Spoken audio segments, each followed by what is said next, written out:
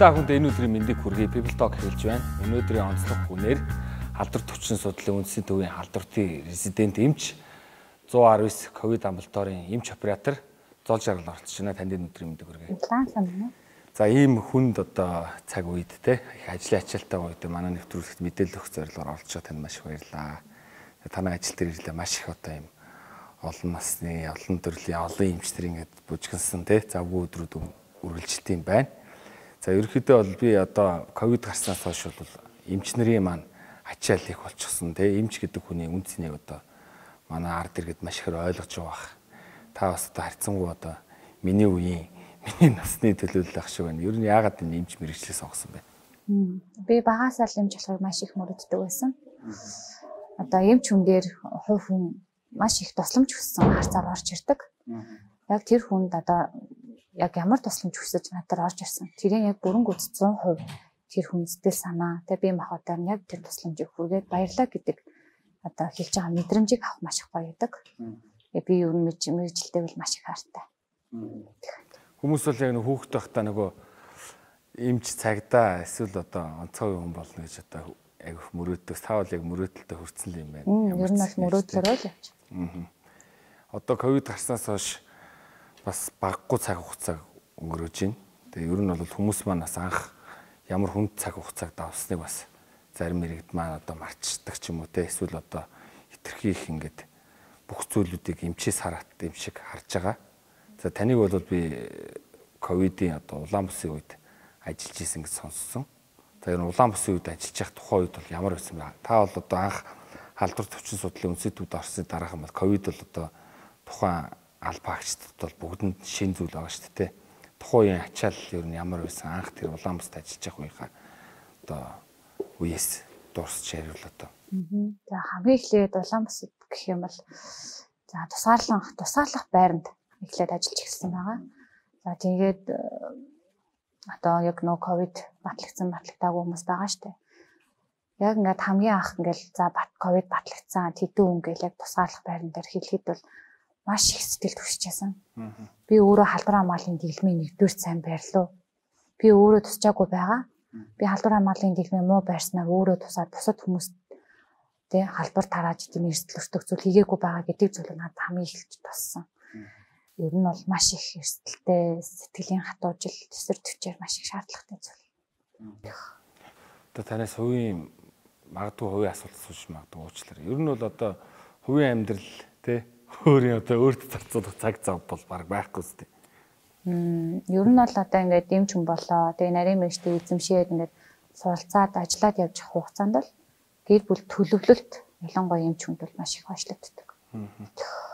Надад ч гэсэн магадгүй хойшлогдоод явсаалгаа гэдэг би өөрөө ч гэсэн мэдээл байгаа. Зүгээр хүмүүс мэдэхгүй байж магадгүй.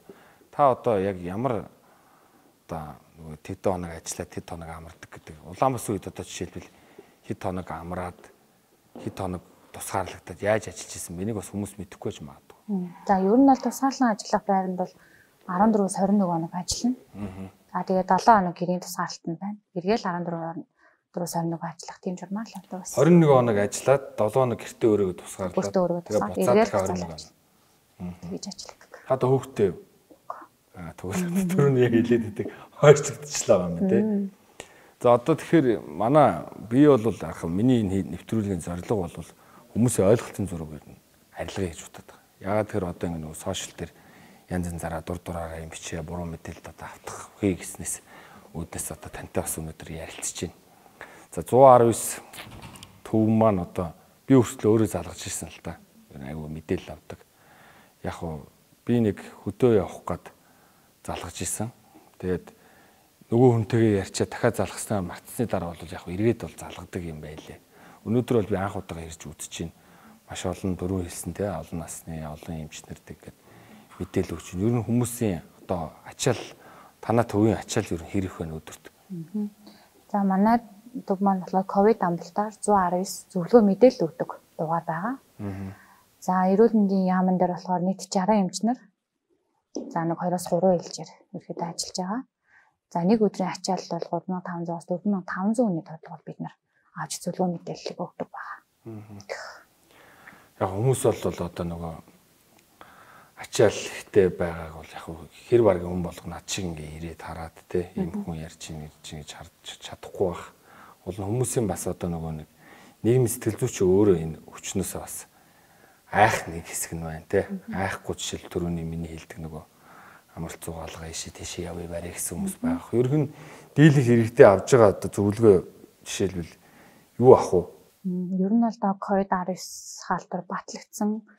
За би ямар имчилгээ одоо хэрэглэх вэ? За тэгээ гэрээр одоо ийм имчилгээнүүд ингээд авцсан. За би ерхий имжтэйгээ холбогдоогүй гэсэн тийм тохиолдлууд аягүй илүү байгаа.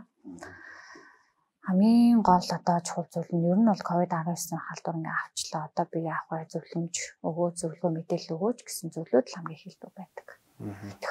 Та одоо уус анханасаа нөгөө нэг энэ сар тахлахаас одоо хүртэл ажиллаж байгаа. Тийм болохоор танаас би энэ асуултыг асуухад одоо энэ вакцинтай байхдаа хүмүүс ингээд вакцинтай мөртлөө тусчаад ингээд шүү дээ. Нэгдүгээр тунтаач байсан, хоёрдугаар тунтаач байсан. Яг таны анх ингээд анх одоо вакцин ч юм бол нэг талаасаа шийдэл шүү дээ. Нөгөө тухайн өвчнийг ингээд өвчнөөс хамгаалах гол баталгаа бол ตก. Тэнгүүд энэ вакцинтай тусч байгаа хүн за вакцингүй тусч байгаа хүн хоёрын одоо ялгаа те тэдний авж байгаа зөвлөгөө жишээлбэл янз янз өөр өөр байдаг байна уу ер нь. Хэлгүй яг уу вакцин вакцин гэдэг маань мэдээж ирэг одоо халдвараас сэргийлэх тийм л одоо урьдчилан сэргийлэх хөдөлнөөс хийгдэж байгаа тийм тархлаажуулалт байгаа. За вакцины нэгдүгээр тунг аваад бол хүнд тархлаа тогтохгүй. Аа. Хоёрдугаар вакцины хийлгэснээс хойш одоо тархлаажуулалтын вакцины маань Astra, Varicella, за Pfizer вакцинууд нь хоногийн одоо хоёрдугаар тунд хамрагдах хугацаа маань янз бүр байгаа. Аа яг тэр хугацаанд халдвар хамгааллын нэгдүгээр тунгаа хийлгчээд за 21 хоног эсвэл 56 хоног халдвар хамгааллын дэглэмээ бариад хоёрдугаар тунгаа хийл 20 дуунгаа хийлгэснээс хойш 14-өөс 21 хоногийн хугацаанд танд тодорхой хэмжээний дархлаа тогтно. Тийм. Гэхдээ тэр нь COVID-19-ийн халдвараар өвчлөхгүй байна гэсэн баталгаа бол биш байна. Тэгтээ 2 дугаар дуун вакцинд хамрагдсан хүмүүс маань хайрцангуй хөнгөн хэлбэрээр ковидор өвчлөж байгаа. Одоо гэрээрээ өрх хэмжээний хяналт нь гэрээрээ өөрийгөө ингэ тусгаарлаад эмнүүдэд аваад байх боломжтой хүмүүс. За вакцинд хамрагдаагүй хүмүүс маань хайрцангуй харин хүндөвтөр хүнд хэлбэнд тусаж байгаа. Гэхдээ тэр нь сөрөө өвчтэй, за жирэмсэн тийм ихчүүд бол илүү хүндөвтөр хүнд хэлбэрээр тус хамгаалалт бол харьцангуй өндөр байна. Танаас зөвлөгөө авч байгаа хүмүүс тунд вакцин хийлгээгүй тусаад залгаж байгаа хүмүүс хэрэг байсан бэ? Мм, байлгүй яах вэ? Яага. Гэтэ би яг тэдүү хувь гэж л хуваар үнэлэхтэй л тест мэдгүй. Аа. Би яг өөрөө нөгөө санаа зовж байгаа юм одоо нөгөө хүмүүс ч ингээ ардсан нийгэм өөрийн сонголт те хүний сонголтыг хүнддэх гэдэг бас яг сошиал дээр нөгөө тодорхой вакцины хийлгээгүй хүмүүсийн хувь байгаад идэг. Яг тэр хүмүүс маань бас ингээд одоо бол нөхцөл байдлыг ойлгож байгаа гэж би бодож байгаа. Ер нь бол таны хувьд мэрэгжлийн үний хувьд ер нь харахад вакцин хийлгэсэн хүмүүсийн одоо жишээлбэл өвдөх нь арай бага хөнгөн тусаад вакцин хийлгээгүй хүмүүс нь ингээд одоо нөгөө юу гэдэг лээ арай жоохон тусчин гэж ярьж штэ тэ. Ер нь бол одоо та зүгээр хувийнхаа бодлоор вакцин ер нь бидний жишээлбэл хийгдэг байсан бол одоогийн нөхцөл байдал ямар байх юм бол одоогийн нөхцөл байдал илүү хүнд хүндтэй байх гэсэн.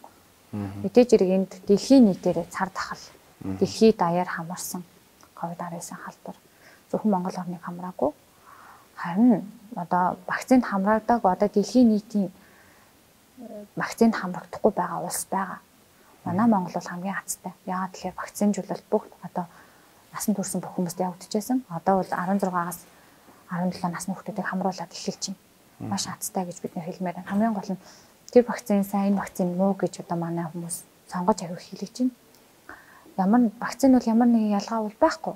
Яг харин вакцин хийлгэсэн, хийлгэснээс хойш 7 хоног дотроо ерөнхий одоо нэг вакцины урвал илрэх тийм шинж тэмдгүүд бол байгаад байгаа. Тэрнгээр нь хүмүүс сайн муу гэж одоо айгүйх ялгагдаад байгаа зүйлүүд байгаад байгаа. Тэндээс бол вакцин хийлгэх хийлгэхэд хийлгэхэд одоо муу зүйл ч юм уу те муу үр дагавар гарсан тийм давхад байна. Би бол харин харин вакцин ингээд одоо манай Монгол вакцин орж ирээд ингээд хийлгээд явж байгаа нь илүү их давуу талтай. Энэ хаалтгыг илүү сайн бууруулж байгаа гэж юм бол үзэж байгаа. Хэвээ манай Монгол вакцин орж ирээгүй байсан бол одоогийн нөхцөл байдлаас бүр илүү байх бас Би бол яг хувьдаа бол одоо энэ манай нэвтрүүлэг үзэж байгаа вакцин илгээгүй иргэд те вакцин илгээгүй бүлэг байвал вакцина хийлгээсэй гэж би айгүйх бод хүсэж байгаа. Яагаад тэгэхээр одоо жишээлбэл аруулаа байлаа гэж бодоход 5 вакцины хийлгэчихэд үлдсэн 5 нь хийлэхгүй байгаа гэвэл тэр чинь бас нөгөө бодит үр дүнгээ өгөхөд бол бэрх штэ тий. Одоо бол бас яг бүгдээрээ ухамсарлаад вакцина хийлгэрээ гэж бас би хэлмээр байна. За таны одоо нэг хувийнхаа юм руу орноо. Төрүүн та хэлж штэ ингээд анх бол би ингээд эмч болно гэж мөрөөдөжсэн мөрөөдлөөр ажиллаж байгаа гэдэг. Одоо энэ хүнд үед яг та эдээс ингээд надаас өөр бас ингэж нөгөө асууж юу гэдэм дэ над шиг ингээд яг энд ажиллаж байгаа хүнтэй ярилцж байгаа хүмүүс бас ховор бах. Яг нөгөө шууд одоо ингээд суулгаж байгаа л ярилцтэй. Яг энэ ковидын үед та ингээд яах гэж би өстө нэрээ нэмч болоо ямар хэцүү байна гэж бодож исэн үе байна уу ер нь? Тийм тохиолдол байгаа шүү дээ. Аа.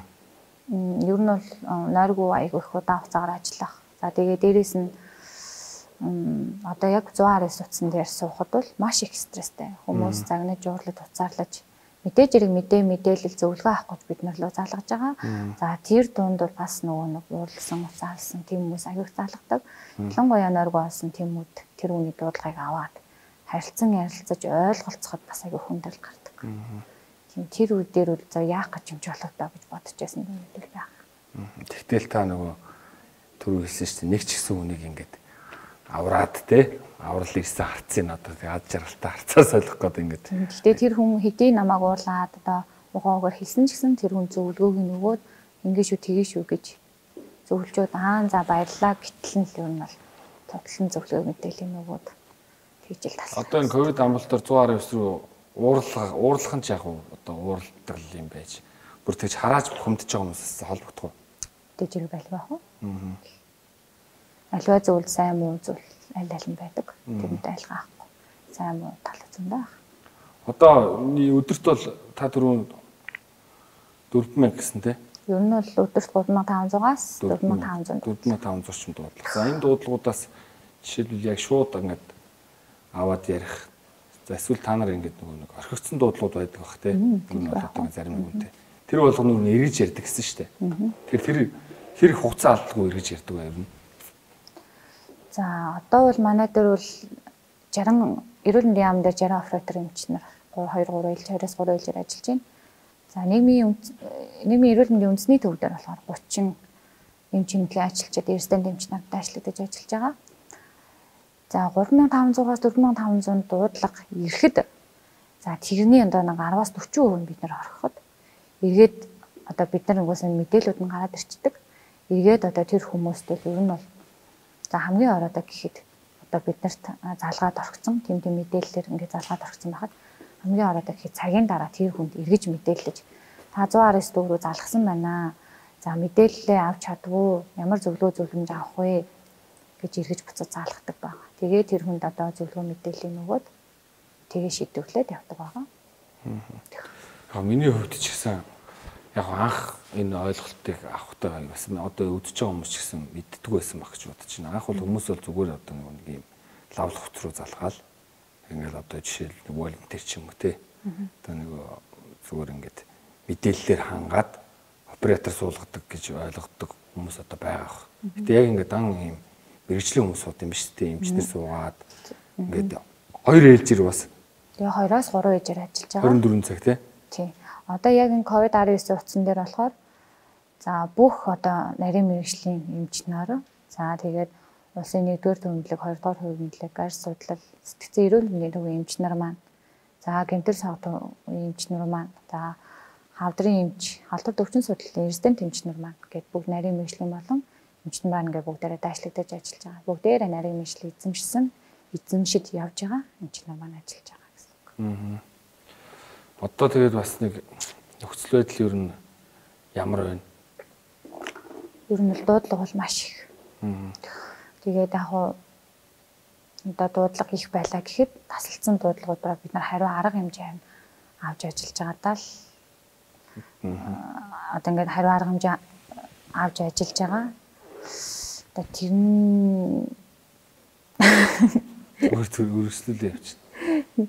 Дуудлага бол ер нь маш их. Гэхдээ маш их байлаа гэд одоо тэр хүмүүсийг орохгүй байнга ингээ хариу харах хэмжээ авч ажиллаж байгаа. Нөхцөл байдал бас нөгөө нэг өдөр болго хүмүүс ингээл 11 цагийн мэдээ харчлаа баг л та.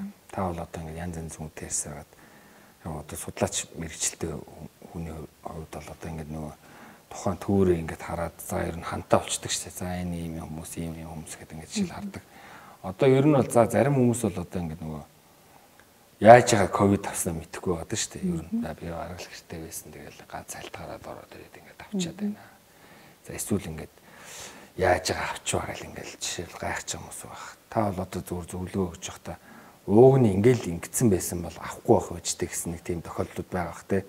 Тэрэн дээр одоо жишээлбэл яг үзэж байгаа хүмүүс хандаа зарим хүмүүс ч юм бол одоо анх бол хандлага нь одоо жишээлбэл битөр бол нөгөө нэг үзэж таах нэг хүндэтгээд маск авцсан яриа сонсохдохгүй учраас ингэ хийцэн баг шүү. Зарим хүмүүс ч юм бол анх ингэж ойлголттойсэн баггүй. Миний ойрын тохиолдол жишээ. За хоёр тунгаа хийлгэсэн юм чи ямар ч асуудал байхгүй. Тэгээ хоёр тунгаа хийлгэчлээ гэдэг нэг жоох зарим хүмүүс санаа намарцсан. Тэгэл ингээл жоохон машин тэрэгэн дэч зүүхгүй ч юм уу те. За жишээл мэдэхгүй шүү дээ одоо бензин колонкон дээр очихороо шууд цонгоо онгоолгол ингээл авдаг ч юм уу. Хоолны газар орохороо дураараа ингээл авдаг ч юм те. Хүмүүс ч нөгөө нэг яг инкер би бас хүн буруутгаад хүмүүсийн бурууг өөр дээр авчих гэдэг. Гол нь нөгөө нэг хайнгал хандаад байсан л да. За вакцины хийлгэх юм чи ямар хамаатай тест яах ч гэдэг те. Та бол одоо яг нөгөө нэг юм мэрэгчлийн хүний хувьд үзэж байгаа хүмүүст би сая асууж шít. Ингээл ингэсэн бол тусахгүй байх байсан гэдэг нэг иймэрхүү зөвлөгөө маяг юм өгвөл тэр тохиолдлуудаа одоо жишээл кейс болгож татчих ярьж болно шүү дээ. Мэдээж хэрэг хамгийн гол нь халдвар хамгааллын дэглэм. За хүмүүс 2 дугаар дун вакцины хийлгээд вирусаа халдвар авахгүй гэж бодоод байгаа шүү. Гэж юурээс нэг ойлголт тийм ойлголттой хүмүүс бол ер нь холбогдоод байгаа. Ер нь бол ингээд байгаад байгаа манай Монголд. Тэгэхээр 2 дугаар тунгаа хийлгэцэнгээд та халдвар авахгүй байна гэсэн л ойлголт төрөөсөө байхгүй. Хамгийн гол нь халдвар хамгааллын дэглэмэ байна. Нэгдүгээрт маска зүүн. Хүнтэй одоо ингээд харилцахдаа маска зүү, ажил дээрээ байхдаа маска зүү. Тэр маска нэг удаагийн маска 2 цаг тутам солиол зүгөөтэй. Тийм. За гэртээ хараад бол яг үнэхээр гэрт нь одоо батлагдсан тохиолдол байхгүй ч юм уу те. Тийм тохиолдолд гэртээ хараад маска тавьж болно. Тэгэхдээ гэр бүлийнхаа одоо хүмүүсийг эрсдлээс хамгаалахын тулд маска зүүсэн тэр. Тэгээд дараа нь гараа тогтмол халдваргүйжүүлж уугаа. Угаасаа энэ ковидын халдвар чинь агаар туслын замаар, хавьтлын замаар гэсэн хоёр замаар байгаа. Агаар туслын гэдэг нь болохоор шүнээс агаар туслын замаар шүсээс сүс орно. За хавьтлын зам гэдэг гараар мэдээж ирвний гарт гар юм бүхэнд хүрж байгаа. Тэр тоолонд хэдэн мянган одоо ням бидний гар дээр ингээд орсон цугааг бид нар харж мэдэхгүй шүү дээ. Тийм учраас гараас авгаа халдваргүйжүүл маска тогтмолцсон. Тийм л дэглэмэ барьж идэх юм бол халдвараас өөрийгөө хамгаалж байна. Тэгээд дархлаагаа дэмж хүмүүс дархлаагаа дэмжихээр зөвхөн витаминаар дархлаагаа дэмжинэ гэж ойлгоод байгаа. Витаминаар дэмжиж, амин дэмээр витаминаар дархлаагаа дэмжиж болно. Бас дархал тасгал хөдөлгөөнөөр дархлаагаа дэмжиж болно. Тэгээд дархлаагаа дэмж, за тэгээд алдраа маалын дэглэмээ сайн барь, чигтээ цэвэрлэгээ гэрт орондоо сайн хий. Бүгэн орондын зайгаа барьж харилц, ажил төрөл дээр маска сайн зүү гараа халдвар бүжүүл уугаа. За гэр оронд агаар сайн орвол хоолундаа сайн ид, сайн амар, ажил төрөл болон амралтаа сайн зогцоо. Тэгжэл чадах юм л да өөр энэ коронавирусын халдвараас өөрийгөө өөрсөд зэрэглэж байна. Аа яг одоо хүмүүс чинь нөгөө нэг бас сошиал дээр ингээл за өлөг болсон гараа уугаа маска зүүлгээд байдаг гэлээдэг. Энэ бол ерөөсөө ганц одоо алтан дүрм шүү дээ. Нугасаа ганц алтан дүр. Тэгээ одоо бас нөгөө э, инээж ярих нь цаашийн. Одоо зарим хүмүүс ч юм бол одоо ингээд нэг масктайгаа бүтэн өдөр байцдаг те.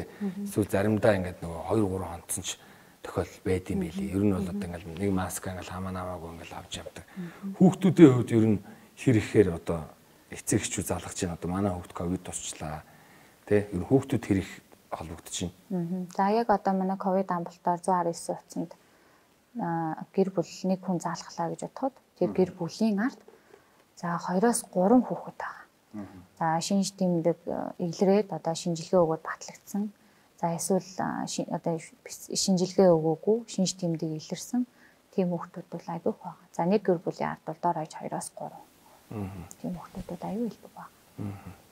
Тэгэхээр одоо яг энэ үед хүүхдүүд хамгийн их хүртэмтгий байна гэж ойлгож байна. Хүүхдүүд одоо ерөөхдөө нөгөө дулаан цаг болсон болохоор гадаа тоглоод олуулаа яваал те. Эсвэл одоо нэг ковид авцсан хөөхт байлаа гэж бод. За яг гэрийнх нь одоо насан турш мэдээж хамгийн дөрөнд авчихсан шүү дээ. Өглөө гэж бод. Тэрийг мэдэхгүй гадаа гараад хөөхтүүд чинь нөгөө юм хувааж иддэг те. Нэг юм авааж уудаг усундаага ч юм уу. Хүүхдүүд одоо яг эцэг эхчүүд үзээд бит хоёрын одоо энэ яриаг үзээд бас зөвлөгөө талаас нь авал би одоо тэгж ойлгож болох ба хүүхдүүдэд тэгэхээр гадаа гарахгүй байх нэг хэцүү те.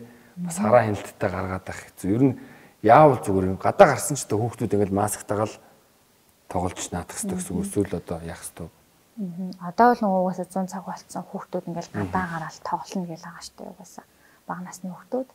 Тэгэхээр мэдээж ирэх бага насны хүүхдүүд эцэг ихийн хараанд байгаа. Тэгэхээр ээж аав нь үнэхээр хүүхдүүдээ одоо агаар салхинд гаргахдаа маскын сайн зулаг хизээч бохор гарын аманд нь бити хүрэг. Тэгээд одоо хүүхд нь гадаа жоо удаан тоглолцсон бол ойр ойрхон маск хийсэл нэг масктэй 2 цагаас дээш хугацаагаар ер нь бол байлгаж болохгүй. Ялангуяа одоо бид нэр хэрэгэлдэг нэг удаагийн амны алт гэдэг дээ. Тэр бол нэг цаг 30 минутаас 2 цагийн л одоо бид нарт одоо гаднаас одоо элдвэн бидний хамар амар оруулахгүй байх тийм магадлал байдаг. Нэг цаг нэг цаг 30 минутаас 2 цаг л хамгаалж болох боломжтой. Энээс бол одоо энэ маскууд бид нарыг бүтэн өдөр ингээд хамгаална гэсэн нэг маск тийм биш. Тэгэхээр 2 цаг болоод маскаас л 2 цаг болоод маскаас л бага насны хүүхдүүдэд гарын сайн аваалга ээж амдан зан халдвар өгөөжүүл тэгээ дархлаагаар витаминаар амин дэмэр өөртөө тохирох амин дэмэр хүүхдийнхээ дархлааг сайн дэмж тийм л арга хэмжээ аана. Хамгийн гол нь эцэг их нь ээж аав нь өөртөө алдар хамгааллын дэлгмээ сайн барьж чадах юм бол өөртөө өвдөхгүй байж чадах юм бол хүүхдүүдтэй эрсдэл учруулахгүй хүүхдүүдэд хамгаалж чадна гэсэн үг. Хамгийн гол нь ээж аав нь өөртөө өвдөөд ах эгч нь өвдөөд нэг гэр бүлтэй тэгэхээр ингээм амьсгалын замаар автлын замаар тэр хүүхэд бол ингээд өвдөд тах. Гэр бүлд тийм хүмүүс зөндөө багтах. Би бол хөвдөө одоо иргэний хувьд бодоод байгаа шүү. Дан ганц энэ бол одоо та бүхний тэ эрүүл мэндийн яам одоо энэ харьяа одоо олон эрүүл мэндийн газрууд за танай имлгүүд те дээрэс нь энэ олон төрлийн имлгүүд байгаа шүү. Би бүгднийх нэрийг бас хэлж тухайлах гэж хэлж байгаа шүү. Олон төрлийн имлгүүд танай энэ одоо ковид 119 амлалтаар энэ болгон энэ хүн болгоны үүрэг зөвхөн одоо 3 сая хүнийг хамгаалаад те тэр хүмүүст ойлгуулад ингээд байхад бол хүчин шатал нь бол угаасаа л хумс байна. Би бол одоо уриалмаар байгаа одоо байгаа иргэд болгон маань одоо халдвар хамгааллын тэглэмээ сайн сахиад маска солиод гараа угаагаад хүүхдтэй хараа хяналт тавиад олон хүн цугларсан газар руу явахгүй байгаад те ухамсартай байчвал уг нь ингээд 3 30 30 300 300 3 мянга гэдэг одоо 30 мянга цаашаа нөлөөлөд яваасаа гэж би бодоод байгаа.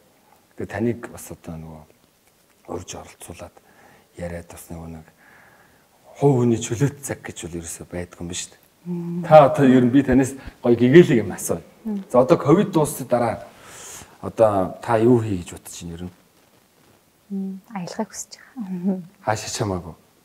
Аялж амрах. Аялал гэр бүлийнхэндээ аялж амрахыг хүсэж байгаа. Ер нь бол амрахыг маш их хүсэж байгаа. Танаа одоо жишээлбэл гэрийнхэн бол бас мэдээж ингээл таныг өгөөд өгөөл айл санаал те тийм үе зөндөл байгаа штэ. Гэхдээ та би одоо юу ч хэлэх гээд байна гэхээр гэрийнхэн ч бол таны мэрэгчлээс ойлгож хүнддэгдэг. Мм жилгүй ах маш их ойлгодог. Аав ээж дүндэр маань маш их ойлгодог. Одоо бол ингэж штэ. Одоо яг нэг жоох ийм их хандлагууд байгаад байна. За бид нар тусахгүй бол одоо болоо. За манай гэрийнхэн тусахгүй бол болоо одоо вакцины хэлгэцэн ингээд хааж явах эсрэгээр таны аав ээж таны гэрийнхэн ч одоо таныг н олон хүнийг эмчилж эдгээгээсэ гэдэг тийм хүслэр мэлцтэй ч юм бол маш хүндэлтэй гэж авдаг гэсэн үг шүү дээ. Тэр байх уу? Та ч гэсэн одоо тэрнгүүрээ урам зориг авч ууг нь гоё ажиллаад байдаг. Тэгэл нэг өдөр өдөө янз бүрийн ууртаа уцаартай хүмүүс яриангууд бас мэдээж сэтгэл зүйн хувьд бол хүндэл байдаг бах те.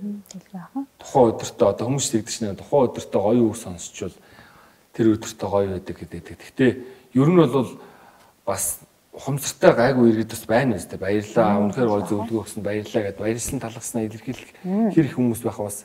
Тэгэл байх уу? Дудлаг бүрт баярлаа гэдэг талархлаа илэрхийлэх хүмүүс мэдээж ирэх зундаа байгаа. Ер нь сайн муугаас их үстэй. За тэгээд түрүүнд хэлсэн тийм ээ аливаа зүйл сайн муу зүйл гэж байдаг гэж хэл ер нь л тэгэл тэмцэх. Би тантай ярилцсан чи яг нөгөө нэг юм 119-с мэдээлэл авч байгаа юм шиг байгаа. Яг юм довчхон довчхон тодорхой тодорхой шууд ингээл банк хүн тэгсэн тэгсэн гэж яриад байна. За одоо тэгээд ковид 119 амлалтаар дээр бол өдөрт ингээд 4000-аас 4500 дуудлага авч байна. Ер нь яг би одоо та бүхнийхээ ажлыг бас хөнгөвчлөх үүднээс энэ асуултыг асууж байгаа шүү танаас. Яг ийм бүр ингээд нэг юм мэдээж нэг юм асуудаг ч юм уу те. Яагаад ингэж асууж байгаа гэхээр үнэхээр хэрэгтэй үнд нь хэрэгтэй одоо зөвлөгөө нь очиосаа гэж би бодож байгаа юм. Яг ингээл нэг зүгээр ингээд нэг юм мэдээж юм асууж залгаж барьдаг хүн байдгүй. Мэдээж ирэх хүмүүс тулгамдсан мэдээлэл зөвлөгөө авахгүй ч залхдаг. Тэр болгонд нь бид нар хариу арга хэмжээг нь хөргөөд зөв мэдээллийн зөв цаг хөвгт нь яг тэр үед нь шуурхаа хэлж өгч зөвлөхийг л маш өгсдөг. Гэхдээ одоо нэг хүнтэй за доор хаяж нэг 15-аас 20 минут яриад ингээд зөвлөгөө мэдээлэл өгье гэж бодъё. Гэхдээ тэр хүнтэй яагаад 15-аас 20 минут ярьсан бэ гэхэлэр одоо тэр залгсан иргэн батлагдсан. Би өөрөө одоо ямар юм уух вэ? Тэ? Одоо надад таны зөвлөгөө өгөөч. За манай 9 сартай хүүхэд тийм зөв өрлөөд байна. Манай 3 настай хүүхэд тийм зөв өрлөөд байна. Манай нөхөр ингэсэн гэхээр тус бүрт нь бид нар зөв өгдөг. За одоо 9 сартай хүүхэдтэй тийг тийг. За ерхий шинж тэмдэг илрээд байвал шинж тэмдгийн хэмжлэгээ хий халуун бодлого юм ингэж үг. Тэ? За тэгээд та нар маань одоо ингээд ээж нь батлагдсан юм чинь те хүүхдүүдээс нь ингээд тандалтын баг нь ирж 6 хоног дээр ингээд шинжилгээ ирж авнаа гэсэн одоо хүн бүрт одоо тулж бид нар ингээд зөвлөгөө мэдээллийг өгдөг. Тэгэхээр доор хаяж нэг 15-аас 20 минут за сунжирлаа гэхэд 30 минут нэг хүнтэй ажилладаг. Тэгэхээр нэг хүн нэг хүнтэй 30 минут ярьчаад гар гэрийнхэн бүх хүмүүс зөвлөгөөгөөд 30 минут болцсон байхад над дээр одоо ирэх тэрний ард одоо 30 минут би ярьсан байж байлаа гэж бодоход тэрний ард дээр ирэх 4-өөс 5 дуудлага юм уу 5-аас 6 дуудлага алдагддаг. Тэр алдагдсан дуудлагыг бид нар хариу нөхөж эргэж одоо тэр иргэнтэй холбогдох арга хэмжээг шуурхан авахыг үйлүүр нь бол боддог. Гэтэ зарим одоо иргэдийн дуудлагыг орхитуулах тийм зүйл бол мэдээж ирэх байж магадгүй.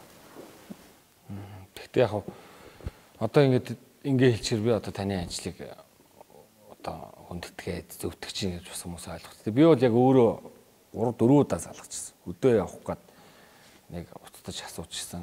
Өмнө би чинь нэгдүгээр хавтал болоод 4 7 нэг юм. Тэгээд тэр нөгөө нэг ийм Монголиагийн нөгөө нэг ковидын цэцгийг асаачаар нөгөө нэг хавтал нь гарч ирд юм шүү дээ. Тэнгүү шууд нөгөө эрүүл цэг гэрэг цэг эмэн рүү холбогдоод судалгаа авд юм шүү дээ. За юм юм илэрсэн ингэсэн тэгсэн 7 хоног одоо ингээд өөрийгөө тусгаарлаарай гэд ирдэм билээ шүү дээ. Тэгээ ер нь 4000-аас 4500 дуудлага болгон дээр бол танааха өөртөө ингээд одоо юу гэдэг зарим одоо нөгөө нэг авлах чинь яриаг нь бичдэг шүү дээ. Яриаг нь бичигдээд ингээд дата хэлбэрээр үлддэг. Тэ? Тэгээ эндээс ч бас нэг судалгаа гараад хаана хаана ямар хавтал яаж гарч ийн хаанаас хэдэн хүн хэрэгээр залгаж ийн гэдэр ингээд бүгдээр нарийн гарч штэ. Тэглгүй яг уу одоо миний яриа тэр хүний дата хэлбэрээр үлдээд одоо дараа нь ямар нэгэн тэр хүнд ч юм уу те асуудал гарсан. Гэтэл одоо тэр хүнд ямар нэгэн байдлаар асуудал гарсан байлаа гэж бодоход хүндрэл ч юм уу тохиолдоод асуудал гарлаа гэхэд одоо мэдээж 119-тэй холбогдсон байна. Ямар оператортай залгаад ямар зөвлөгөө авсан тэр хүн үнэхээр чиглүүлж чадсан юм уу? Мэдээлэл зөвлөгөө өгсөн юм уу? Ингээд дараа нь ингээд эргээд харахад бол тэр датаг ашиглахад боломж байдаг. Яг хүмүүс ингээд танд хэлж чи янз янзын хүн залгадаг. Тэг талархууштай санддаг хүмүүс нь олон байдаг гэдэг чинь. Ер нь бол одоо дан ганц одоо би таны төрөний нэг хувийн асуултаас ингээд ботхоор баг гэртээ харихгүй шахуу ажиллаж байгаа юм олон хүмүүс ажиллаж хахад манай иргэд бас жоох өөрсдөө хичээгээд те маска байнга зүүгээд агаар сэлхээ оруулаад гээ явчул ууг нь болчих واخ л гэж би бодоод байгаа. Дээрээс нь бас нэг сонирхолтой ч юм уу нэг сонин кейс би бас тантай ярилцах гээд янз янз юм уншсан. Одоо ингээд ийм байт юм байна. Нэг ингээд ковид тусцсан гэртээ тусгаарлагдчихжээ. Тэгээ ингээд маска зөгөөд годоо гараад ингээд сарчлаад байсан гинэ. Ер нь байрныхаа ойр ерэн тойронд ингээд тойрж мараад энэ хэр аюултай вэ? За ковид батлагдсан хүн ер нь бол 10-аас 14 хоногтой за гэрийн тусгаалтанд байх хэвээр. Тэр хүн өөрөө маска зүгээд талдраа малын дэглэмээ бариад эсвэл нэг өрөө байранда өөрийгөө тусгаарлаж болно. Гэхдээ мэдээж хэрэг гэр бүлтэй аав ээжтэйгээ амьдардаг, үр хөвгтөдтэй амьдардаг хүмүүс зөндөө байгаа. Өөрийгөө яаж тусгаарлах вэ гэж хүмүүс аягүй их асуудаг. Тэр нь болохоор маска зүгээд гэр бүлийнхаа гишүүдээс зайгаал барих гэж байгаа зөвхөн. Гэр дотроо юу? Гэр дотроо. Тусааг хүмүүсээс юу? Тий тусааг хүмүүсээс. Өөрөө маска зүү. За тэгээд гэр бүлийнхаа гишүүдээс зайгаа барь. Өөрийн хэрэгэлдэг, идэлдэг тий одоо нэг хэрэглэнүүдээ тусдан байлга. За хоол ундаа идэхдээ зайгаа барьж хоолол тийм л одоо зөвлөгөө өгч байгаа. Яг 10-аас 14 хоногтой тэр халдвар авсан хүн маань бусад одоо өвдөөгүй хүнд халдвар тарах эрсдэлтэй байдаг учраас тэр одоо нөгөө нэг маска зүүсэн ч гэсэн бусад хүмүүст халдвар тараахгүй гэж ойлгох тийм баталгаа бол байхгүй. Масктай байсан ч гэсэн бусад хүмүүст халдвар тарах эрсдэлтэй. Яагаад тэгэхээр та ковид халдвар өвдсөн идэвхтэй хэлбэрээр байна. 10-аас 14 хоногтой гэртээ бай гэдэг нь бусад хүмүүст эрсдэл эрсдэл тараахгүй, бусад хүмүүсийг эрсдэл өртөөхгүй тулд 10-аас 14 хоног гэртээ бай гэж байгаа. Тэр хүн ер нь ингээд одоо маска зүүсэн ч гэсэн халдвар тараахгүй гэдэг ингээд байрны гадуур ингээд явж байна гэдэг чинь нэгний үргээ биелүүлэхгүй бай нэгдүгээр хоёрдугаар гэх юм бол тэр хүнд өөрт авсан мэдээлэл буруу байна л гэсэн үг. Маска зүүсэн би бусад хүмүүс талалтар тараахгүй гэж ойлгоцсон мэдээлэл нь буруу байна гэсэн. Яагаад тэгэхээр 10-аас 14 хоногтой ер нь бол 14 хонцсон бол та бусад хүмүүст халдвар тараахгүй ажил төрөлдөө явж болно нийгмийн харилцаанд орж болно гэж бид нар зөвлөд байгаа. Тэгж л ажиллаж байгаа. Одоо ковид туссан хүн жишээлбэл ингээд одоо маска зүгээд салхилмаар байлаа гэж бодоход гэртээ байгаа одоо цонхоороо ч юм уу балкон дээр маска зүгээд амьсгална гэсэн үг эсвэл одоо маска аваад ингээд тагтан дээр байж болох уу? Тэр хүмүүсээс ямар сонио асуулт асууч гэж бодчих магадгүй. Яг янз янзын хүмүүсийн өнцгөөс асууж байгаа шүү. Тэгээ яг одоо хэлж байгаа зөвлөгөөнүүд гэх юм бол одоо үнэхээр нэг өрөөндөө ганцаараа тий тусгаарлагдж байгаа бол маска болно. Гэхдээ одоо тагтан дээрээ гараад ингээд агаарслах амсыгээ зарим хүмүүс тагтан дээр гараад маска авч байгаа. Тэр нусаа үнэхээр одоо тэр гадаана хаяхгүй ч юм уу тий тэгээ тагтан дээр хаяхгүй ч юм тийм тохиолдолд одоо үнэхээр л одоо маска аваад амьсгалахаас өөр яах вэ тий Тэгээ одоо тэр хүн гадаа гарч одоо э, тэр цэцэрлэн бэцэрлэгээр гарч одоо алхаж явж болохгүйгаас хойш маска аваад амьсгал. Миний бодлоор бас одоо манай зарим иргэдэн маань бол одоо жишээл ковид туссан ч бай. Ковид тусаагүй мөртлөө одоо өөрийгөө ингэж ажиглаж байгаа штэ. За ингээд одоо юу гэдгийг хажуугаар нэг ч бас ханаад үрж болно, ашил хөдөлж болно те. Тэнгүүтэл ингээд за би ковид туссан маань гэдэг нэг эмзэглэл чим айлт байгаа штэ. Ер нь бол дийлэх хүмүүсийн одоо харж байгаагаар би одоо өөрийнхөө хамаатан садан ч юм уу одоо юу гэдэг те эргэн тойрныхон дээрээс ингээ анзаарч байгаа хгүй. За найз нөхдөс ч юм уу. За найз нөхдөөрөөс ингээ анзаарангууд шууд л эмнэлэгт очиж хөвдөх тийм сонирхолтой байд юм байна. Ер нь. За ер нь ингээд нэг эвгүүчлээ. За л хараа тий. Тэ. За PCR өгөөд төрөвсөн ч юм уу. Одоо энэ ч бас нэг үе бодоход нөгөө төрөвчсөн онцлог чи эмийн сангуудаа зарагддаг болсон шүлсээр тусаар гэл тий. За жишээл PCR-ын одоо тэр нөгөө хамрлуу гэдэг жишээлбэл байна штэ. Би одоо танаа одоо нөгөө 119 ковид амбулаторийг бол хүмүүсийг аль болох гэрээсээ гаргахгүйгээр алсын зайнаас эмчийн одоо зөвлөгөө аваад эмнэлэг дээр очихгүйгээр одоо юу гэдэг зөвлөгөө авдаг тийм л зорилготой байсан гол зорилго нь. Ер нь бол ковид амбулатор 119 зөвлөгөө мэдээлэл өгөх л дугаар байгаа. Хамгийн гол нь бид нар За одоо ингээд надад шинж тэмдэг илрээд байна. Надад хамар хөтөр, миний хамар хөтөрөөд байна. Хоолоо ингээд хураашаад ханиалгаад байна ч юм уу тийм одоо зовиртой хүмүүс заалгадаг. За тэгээд ингээд төрөвчлэн шинжилгээ өгөөд ингээд батлагдцлаа. Би эмнэлэг тэтмээр байна. Намайг хөвтүүлээд үг, ирээд үзээд үг гэвчлэн цалах хүмүүс амир их байдаг. Их бах тий. Тийм. Мэдээхээр одоо тэнд нь ямар долгуурлаж ямар зөвлөгөө өгч өгнө гэхлээр хөнгөн ерөнхийдөө хөнгөн шинж тэмдэг нь Тэр хүнд одоо ковидын шинж тэмдэг илрээд төрөвчлсэнгээр батлагдсан. За ингээ ковидын албараар өвдсөн байна. Би ковидын албараар өвдсөн. Би заавал эмтэх эмнэлэг хэвтэх ёстой гэдэг нэг хүмүүс ойлгоцсон хүмүүс байдаг шүү дээ. Хөнгөн за шинж тэмдэг илэрсэн ч гэсэн хайрцангуй хөнгөн байх юм бол гэрээр өрхийн эмчийн хяналт нь эмээ авгаад гэртээ байна гэж юу нь бол бид нэр зөвлөж байгаа. Тийм. Яагаад тэгэхээр одоо энэ өрхийн эмнэлгүүдийн ачаалал те тандалтын баг, шуурхай штаб эмнэлгүүдийн ачаалал маш их байгаа. Хүнд хүндөвтөр одоо суур өвчтэй тий жирэмсэн ээжүүдийг хэвтүүлэх эмнэл одоо нөгөө хэвтүүлэх орд ир байхгүй.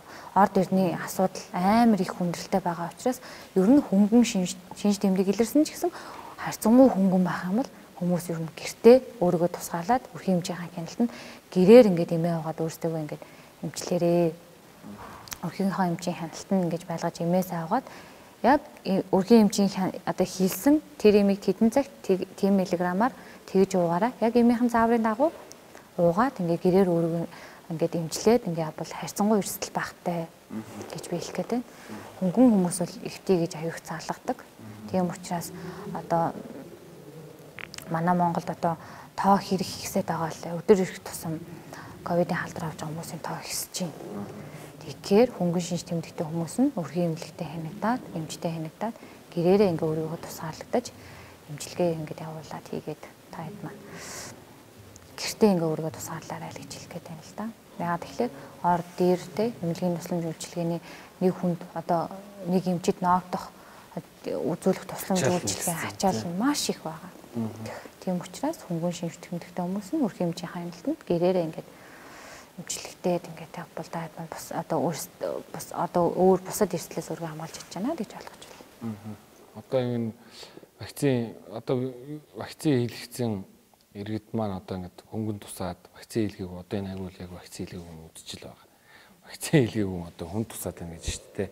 Тэгээ энэний дуудлаган дээр ингээд та одоо янз янзын зөвлөгөө өгдөг. Яг би бол одоо мэрэгжлийн бус хүн учраас шууд одоо энэ үзэж байгаа хүмүүстэй хүчээр хэлэх гээл юм л дээ. Ер нь вакцины хийлгээ.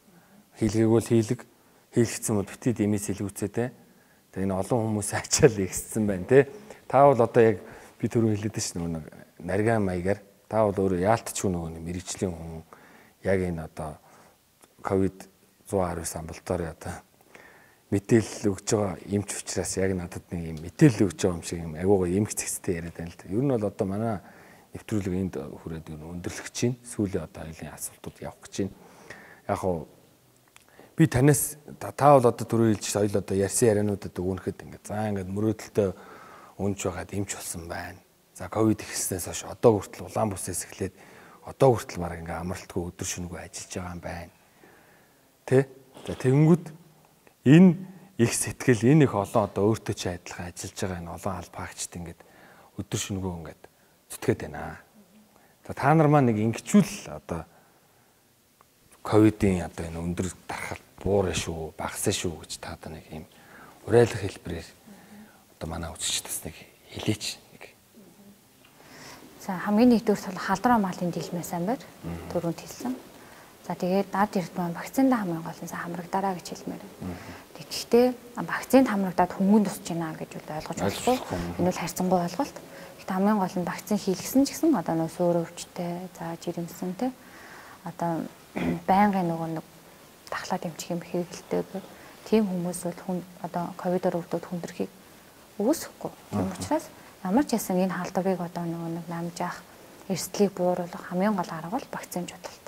Тийм учраас таад маань вакциндаа сайн хамрагдаарай. Хүүхдүүдэд вакцины хийлгээрэй л гэж уриалмаар байна. Тэгээд алдар хамгааллын дийлмээ сайн байгаарай. Янз янзын нөгөө эрүүл мэндийн зөвлөгөө уншиж хахад яг хүн болгоны бие адилхан биш шүү дээ тий. Зарим хүмүүс жишээлбэл одоо нэг өөрийн одоо нэг өрөвсөл ч юм уу тий. Эсвэл одоо янз бүрийн нэг хууч өвчтэй ч юм уу. За тий эсвэл одоо нэг өөр ингэсэн суур өвчтэй тий. Тийм хүмүүс жишээлбэл тусвал илүү хүн тусаад байна юм байл шүү дээ. Ер нь өвчин ер нь бол хүндрэх хүндрэх эрсдэл маш өндөр аа. Одоо би нэг зөвхөн залуу хүн учраас нэг сонирхоод асууч. Одоо энэ тэнд ингээд энэ 100 болцсон нийллэг мийлэг их болж штэ залуучдын. Тэгээ одоо авлахын дээр яг ингээд бисээ одоо нэг найзынхаа тийм баяр дээр байж байгаа ч юм авчлаа тий. Эсвэл одоо ингээд олуулаа байж байгаад ингэчлээ гэсэн тохиолдол юм байсан. Гэхдээ нэг баярлалын юм бол харахандаа тийм дуудлага бол яг одоо ковид амбалтаар заарсан дуудлаган дээр бол тийм дуудлага бол орж ирээгүй. Ажил дүр дээр хайрлуулсан ч юм уу тий А тийм тохиолдол аяг хорж ирж байгаа. Гэхдээ хүмүүс би яаж яагаад би гэртээ байсан гэрээс өөдөөс гардаггүй. Гэтэл би ингээд тестээр үзсэн чинь өвх хэмлэг дээр очиж шинжилгээ өгсөн чинь минийх ингээд ирэг гарчлаа. Би хинээс одоо халдвар авсан яаснаа ерөөсөн мэдэхгүй байна гэсэн дуудлагууд бол маш ихээр байгаа. Тэгэхээр одоо энэ нийгэмд одоо хүн болгон л ингээд тавьдал одоо хүн болгон тавьдал болсон байхыг үүсэхгүй. Тэгэхээр халдраа малын дийлмэ тамаа барьсан байна. За тэгээд одоо халдраа малын дипломо барьснаас болоод та нөгөө ковид халдраа авсан. Гэхдээ нөгөө нэг шинж тэмдэг өөрт нь илрээгүй. За нууц хугацаанд байгаа. Тийм үед одоо нөгөө халдвар нь илрээгүй. Ханаас уснаа мэдхгүй тийм тохиолдол байсан. Хамгийн гол нь халдраа малын дипломоо самбар. Тэгээд вакцинда сайн хамрагдаарай гэж л одоо хэлмээр байна. Би өглөө бүр нэг танд зориулаад ийм цэцэг авсан. Тэгтээ цэцэг авах авахтаа нэг удал цэцэг сонгож авсан. Удал цэцэг чинь сайн сайхныг бэлэгддэг. Эрүүлийн хамгийн одоо сайн сайхныг бэлэгддэг юм байна. Тэгээ та ч бас цагаалаад нөмөрсөн юм сайхан ачтай үйл хийж байгаа олон мянган эмчнэрийн маань төлөөлөл учраас та бүхэнд би одоо баярлалаа гэж хэлээ. Танд энэ удал цэцгийг бэлгэлэх гэсэн. Тэгээд цар тахал дууссны дараа нөгөө нэг хөссөн газартаа очиж жинхэнэ сайхан амраарай. Тэгээд бас одоо олон хүмүүс ингээд өдөр шөнөгүй ингээд ажиллаж байгаараа би бас айгүй бахархаж байна. Тэгээ бас тань руу ингээд одоо янз янзын хүмүүс залгаад муухагаар хэлэх үе байна. За стресс түлхэх үе байна. Тэр олон хүмүүсийн одоо өмнөөс уучлалт гуйж байна. Тэгээ ер нь айл болох одоо бидрийнхаа төлөө энэ хариуцлагатай ажиллаа хийж хаад маш их баярлалаа гэж хэлээд энэ цэцгийг өгөө. Тэгээд яг нэг шагнал өгч юм шиг амар өгөө гэж зөвөр ер нь би ингээд бас цэцэг өгье гэж би угаасаа бодсон яг ярилцах юм дээ. Ягаад тэгэхээр угаасаа би ч гэсэн өөрөө ингээд маск зүүж чадахгүй одоо одоо халуунд маск зүүж чадахгүй ингээд маск аваад эсвэл ингээд нэг нэг жохон үйлдэл төр төсвөр төвчээр гаргаж чадахгүй байхад хаавас энэ ковид гарснаас хойш өдөө болтол ингээд энэ өргөсөн дагартай өмж ажиллаж байгаа танд маш их баярлалаа. Тэгээ одоо өөрөө ярьсан чинь бас их жоо сонирн болж байна. Тэгээ энэ олон хүмүүсийг би бас хараад одоо өөрийнхөө хүрээлэн байгаа бүх хүмүүст хариуцлагатай байгаасаа гэж хэлмээр байна. Тэгээ олон хүмүүс ингээд бараг ингээд хүн орж иж байгааг харах зөхөөгөө ингээд их завгүй ажиллаж шít. Тэгээ таныг одоо энэ таныг бас авч ярихад бас хэцүү байлаа. Энэ ажлынхын дундуур аваад ингээд ярилцаад ингээд маш сайхан байна. Тэгээ таны одоо бүх сансан бүхэн биелээсээ бүтээсээ гэж бодож байна. Тэгээд тань өнөөдөр нэвтрүүлэлт орсон явдал маш их баярлалаа. За үзэгч та бүхэн дээр хандаж хэлэхэд маскаа сайн зүүж, гараа сайн угааж, за аль болох тийм олон хүнтэй газар явахгүй байж, за дээрээс нь 119-ийн ковид амралтаар лугаа залгаад мэдээлэл авсан бол өөрийнхөө хүрээлэн байгаа хүн болгонд энэ мэдээллийг хуваалцаж энэ хүмүүсийнхээ ажлын ачааллыг аль болох хэдүүлээ хуваалцахгүй бол цөөн хэдийн эмчдийн ингээд нуруунд дээр өөрсдөө бүгдийг даатгаж өчөөд зүгээр ингээд бас хариуцлахгүй байж болохгүй шүү. Тийм учраас энэ цөөх өдрүүдэд хэдүүлээ хамгийн сайн сайнаа хичээж өөрсдөө халдвар хамгааллын дэглэмээ сайн сахиж за өөрсдийнхөө хайртай гэр бүлээ хамгаалцгаая. Тэгээд та бүхэндээ маш их баярлалаа. Дараагийн нөхцөл бүртэл түр баярлалаа.